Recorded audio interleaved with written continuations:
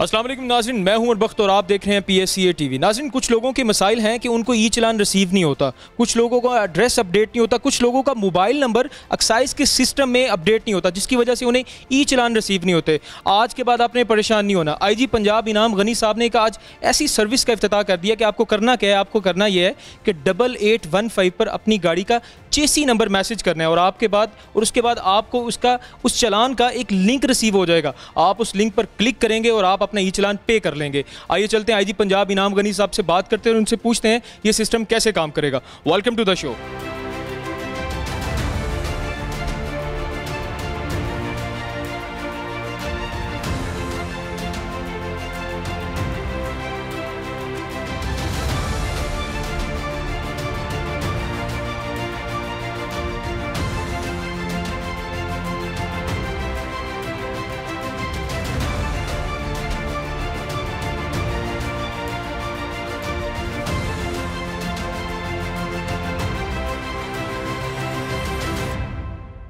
जी नाजरीन मेरे साथ इस वक्त आईजीपी इनाम गनी साहब मौजूद हैं उनसे बात करते हैं। जी अस्सलाम वालेकुम सर मोस्ट ऑफ़ द जो सिटीजन हैं लाहौर के सब वो लॉ अबाइडिंग है वायलेशन पे यकीन नहीं रखते। लेकिन सर अगर किसी से वायलेशन हो जाती है तो 99 परसेंट इस वजह से भी परेशान होते हैं ई चलान के बारे में बात करें कि पे कैसे करना है। क्योंकि सम इशूज़ आर देयर कि किसी के जो एड्रेस नहीं सही किसी के नाम पर नहीं है किसी का मोबाइल नंबर ऐड नहीं है। सर अभी जो आपने डबल एट वन फाइव एक नई एक सर्विस को इनाग्रेट किया है। रिगार्डिंग ई चलान ये किस तरह हेल्प करेगा उन लोगों को, जो लोग परेशान हैं उनके लिए? देखिए, बात ये है कि वायलेशन हो जाती है चाहते हुए, ना चाहते हुए भी हो जाती है। हालाँकि लॉ अबाइडिंग सिटीजन हैं और हम सारे ख्याल भी करते हैं और हमें करना भी चाहिए।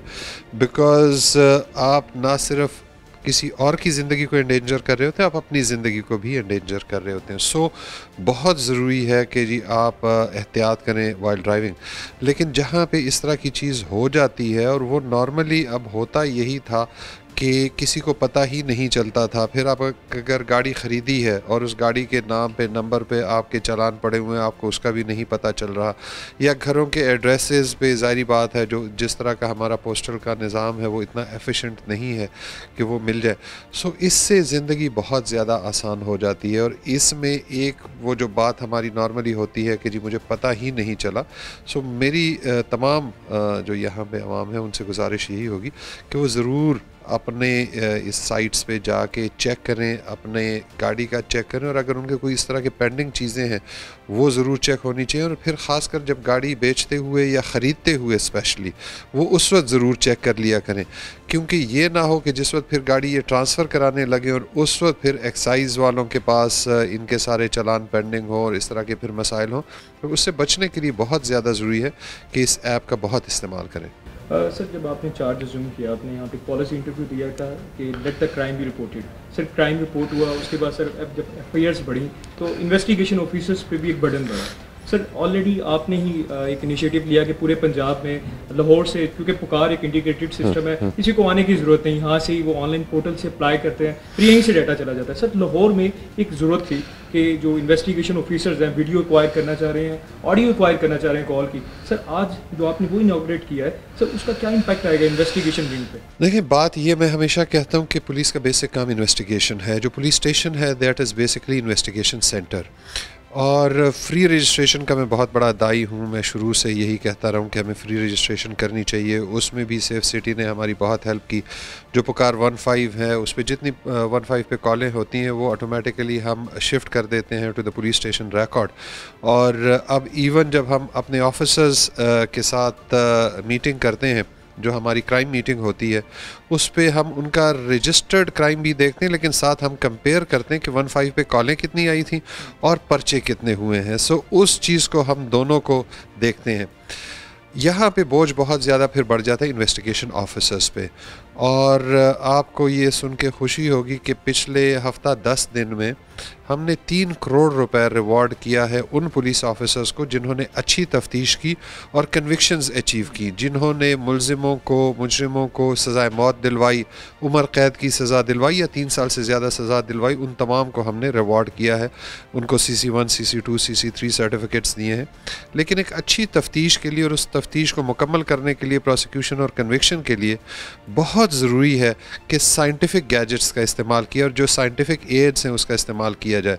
और उसमें जो सबसे इंपॉर्टेंट हेल्प सपोर्ट है, ये जो हमारी सेफ़ सिटीज़ का प्रोजेक्ट है और स्पेशली लाहौर में जिस तरीके से ये कर रहे हैं, ये एक बहुत बड़ी हेल्प सपोर्ट है in the investigation of crime और अल्टीमेटली प्रोसिक्यूशन और कन्विक्शन में। सो इससे बहुत मदद मिलेगी जो हमारे इन्वेस्टिगेटिंग ऑफिसर्स हैं कि अल्टीमेटली वो मुजरमों को कैफर किरदार तक पहुँचा सकें। सर, जब का कोविड आया, हमारी जो फोर्स है फ़ील्ड फोर्स है ना सिर्फ़ उन्होंने स्मार्ट लॉकडाउन जिन इलाकों में लग जाता है वहाँ पे फिर आवाम को ये समझाना कि आप अपनी अपने घरों में रहें रोड्स पे आए जो लॉकडाउन की पॉलिसीज़ का है उनको इम्प्लीमेंट उन पर इम्प्लीमेंटेशन करवाना। सर पुलिस फोर्स को बकअप करने के लिए क्या मैसेज देंगे? क्योंकि स्टिल कोरोना और कोविड एग्जिस्ट करता है और कुछ इलाकों में स्मार्ट लॉकडाउन भी लगा होता है। देखिए बात ये पंजाब पुलिस जो है ये बहुत स्ट्रॉन्ग फोर्स है और we have excellent human resource हमारा कांस्टेबल से लेके एडिशनल आईजी तक हमारे बहुत अच्छे बहुत बेहतरीन अफसर हैं। और मैं ये हमेशा कहता हूँ कि लॉकडाउन में तमाम गवर्नमेंट डिपार्टमेंट्स कोई 30 परसेंट थर्टी थ्री परसेंट पर चला गया, कोई 50 परसेंट स्ट्रेंथ पे चला गया। पुलिस जो है, वो हमेशा मैं कहता था कि ये बिज़नेस एज़ यूजुअल है हमारे लिए। सो उसमें हमारी बहुत सारी शहादतें भी हुई डेथ्स हुई बिकॉज़ ऑफ़ करोना बीमार भी बहुत सारे हमारे उसमें हुए। लेकिन हम कहीं पर भी अपने काम से हटे नहीं। और उसमें हमारे ऑफिसर्स ने अब गवर्नमेंट ऑफ़ पंजाब से मैंने रिक्वेस्ट की थी। सो हमारी प्रायोरिटी पे वैक्सीनेशन भी हो रही है। पुलिस लाइंस में आके हमारे सेंटर्स बन रहे हैं। सो मेरी अपने पुलिस ऑफिसर्स से ये रिक्वेस्ट होगी कि जिस तरह तनदही से उन्होंने ये ड्यूटियाँ सर अंजाम दी, बहुत ज़रूरी है कि उनकी सेहत का ख्याल रखा जाए। और मेरी उन तमाम से ये रिक्वेस्ट है और डायरेक्शन भी है कि वो वैक्सीनेशन ज़रूर करवाएँ, अपनी भी कराएँ, अपने घर वालों की भी कराएँ बिकॉज़ ये सबसे अच्छा तरीका है सेफ़ रहने का।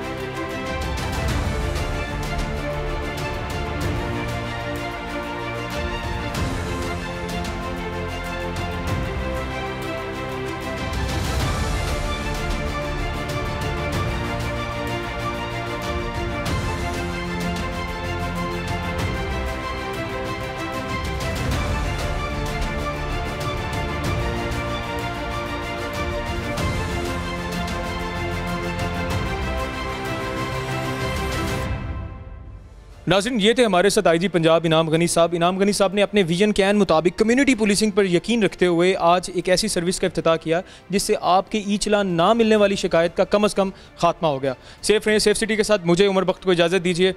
अल्लाह ने के निगेबान